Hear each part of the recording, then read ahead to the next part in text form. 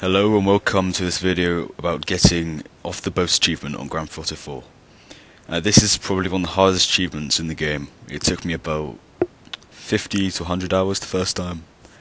That was about a thousand tries. I've heard it's taken people about 3 to 4 tries.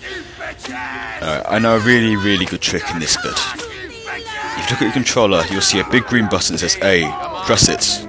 The cutscene will skip. See, that is just amazing.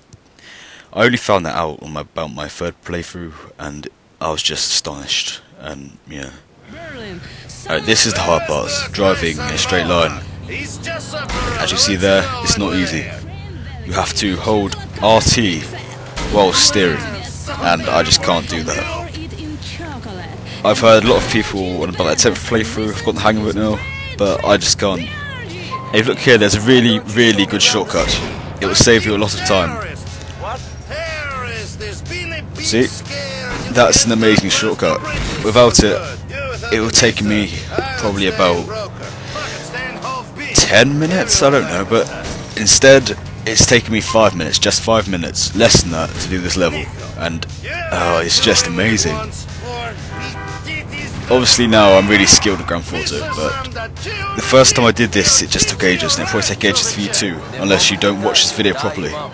So watch it properly, and you'll be able to do it, and be a pro, just like me. And if you look on the corner, you'll see that radar there. The objective is to follow the yellow line,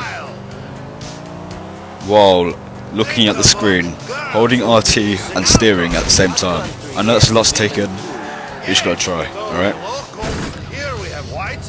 As you can see, my driving is just superb.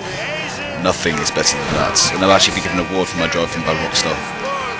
Right. Around the corner here, there's the yellow arrow. Okay? The aim is to stop at the arrow. Don't go too fast.